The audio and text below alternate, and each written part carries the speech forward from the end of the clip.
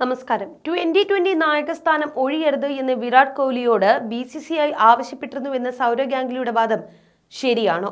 ടീമിന്റെ chief selector കൂടിയായ ചേതൻ ശർമ്മയുടെ വാക്കുകളും വിരൽ ചൂണ്ടുന്നത് കോഹ്ലിയുടെ കള്ളം പറച്ചിലാണ് താൻ ഉൾപ്പെടെയുള്ള എല്ലാ സെലക്ടർമാരും രണ്ടായിരത്തി ഇരുപത് നായകസ്ഥാനത്ത് നിന്ന് മാറരുത് എന്ന് ആവശ്യപ്പെട്ടു എന്നാണ് ചേതൻ ശർമ്മയുടെ വെളിപ്പെടുത്തൽ.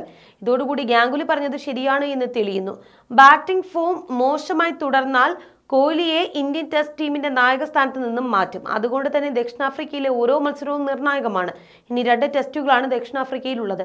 രണ്ട് വർഷത്തിനിടെ കോഹ്ലിക്ക് ഒരു ടെസ്റ്റ് സെഞ്ചുറി പോലുമില്ല. ദക്ഷിണാഫ്രിക്കയിലെ ആദ്യ ടെസ്റ്റിലും പരാജയമായി. ഈ സാഹചര്യത്തിൽ ടീമിൽ തന്നെ കോഹ്ലിയുടെ സ്ഥാനം പ്രതിസന്ധിയിലാണ്. രവിശാസ്ത്രി മാറി പരിശീലകനായ രാഹുൽ ദ്രാവിഡ് എത്തിയതും കോഹ്ലിക്ക് വിനയാണ്. ദ്രാവിഡിനും താല്പര്യം രോഹിത് ശർമ്മയെയും കെ എൽ രാഹുലിനെയുമാണ്. ഏകദിനത്തിൽ ക്യാപ്റ്റനായി രാഹുൽ എത്തുന്നത് വ്യക്തമായ സൂചന കൂടിയാണ്. പരിക്കുള്ള രോഹിത് ശർമ്മ കളിക്കില്ല എന്ന് വ്യക്തമായതോടുകൂടിയാണ് കഴിഞ്ഞ ദിവസം പുതിയ ക്യാപ്റ്റനെ പ്രഖ്യാപിച്ചത്. സാധാരണ പത്രക്കുറിപ്പിലൂടെയാണ് കുറച്ചു കാലമായിട്ട് ഈ പ്രഖ്യാപനം നടക്കാറുള്ളത്.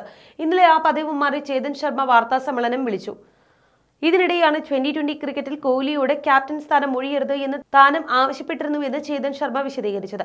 എല്ലാ സെലക്ടർമാരും ഇത് പറഞ്ഞുവെന്ന് വിശദീകരിച്ചു. ട്വന്റി ട്വന്റി നായക സ്ഥാനം ഒഴിയരുത് എന്ന് ആരും തന്നോട് ആവശ്യപ്പെട്ടിട്ടില്ല എന്ന് കോഹ്ലിയുടെ വാക്കുകളെക്കുറിച്ച് മാധ്യമപ്രവർത്തകർ ചോദിച്ചപ്പോഴായിരുന്നു ശർമ്മ മറുപടി നൽകിയത്. കോഹ്ലിയുടെ തീരുമാനവുമായി ബന്ധപ്പെട്ട് യോഗം സെപ്റ്റംബറിൽ ചേർന്നപ്പോൾ എല്ലാവർക്കും അതൊരു അത്ഭുതമായിരുന്നു യോഗത്തിൽ പങ്കെടുത്തവരെല്ലാം വിരാടിനോട് തീരുമാനത്തെക്കുറിച്ച് ഒന്നുകൂടി ആലോചിക്കാനാണ് ആവശ്യപ്പെട്ടത്. കോഹ്ലിയുടെ തീരുമാനം ലോകകപ്പിനെ ബാധിക്കുമെന്ന് ഞങ്ങൾക്ക് ആ സമയത്ത് തോന്നി. ഇന്ത്യൻ ക്രിക്കറ്റിന് വേണ്ടി ദയവായി ക്യാപ്റ്റനായി തുടരൂ എന്ന് വിരാടിനോട് പറഞ്ഞു. എല്ലാവരും കോഹ്ലിയോട് ഇതേ കാര്യം തന്നെയാണ് പറഞ്ഞത്. കൺവീനർ ഉണ്ടായിരുന്നു ബോർഡ് ഉദ്യോഗസ്ഥർ ഉണ്ടായിരുന്നു.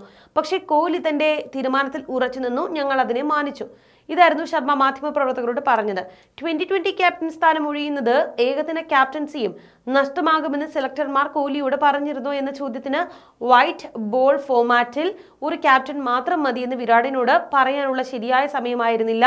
അതേന്നായിരുന്നു ശർമ്മയുടെ മറുപടി. എല്ലാവരും ലോകകപ്പിന് ശേഷം കോഹ്ലിയുടെ തീരുമാനം മാറ്റണമെന്ന് അദ്ദേഹത്തോട് ആവശ്യപ്പെട്ടു.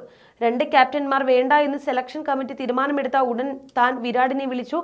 അതൊരു ടെസ്റ്റ് സെലക്ഷൻ മീറ്റിംഗ് ആയിരുന്നു. അതിനുശേഷം ഉടൻ തന്നെ അഞ്ചു മണിക്കൊരു വൈറ്റ് ബോൾ ക്യാപ്റ്റനെ ഉണ്ടാകുമെന്ന് ഞങ്ങൾ അദ്ദേഹത്തെ അറിയിച്ചു.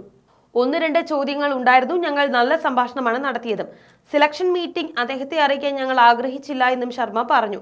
ട്വന്റി ട്വന്റി നായകസ്ഥാനം ഉപേക്ഷിക്കരുത് എന്ന് ബി സി സി ഐ പറഞ്ഞിട്ടില്ല എന്നാണ് വിരാട് കോഹ്ലി വെളിപ്പെടുത്തിയത്. ദക്ഷിണാഫ്രിക്കൻ പര്യടനത്തിനായി ഇന്ത്യൻ ടീം ദക്ഷിണാഫ്രിക്കയിലേക്ക് പുറപ്പെടും മുൻപ് നടത്തിയ വാർത്താ സമ്മേളനത്തിലാണ് കോഹ്ലി ഇങ്ങനെ പറഞ്ഞത്. ഇതാണ് ചേതൻ ശർമ്മ നിരാകരിക്കുന്നത്.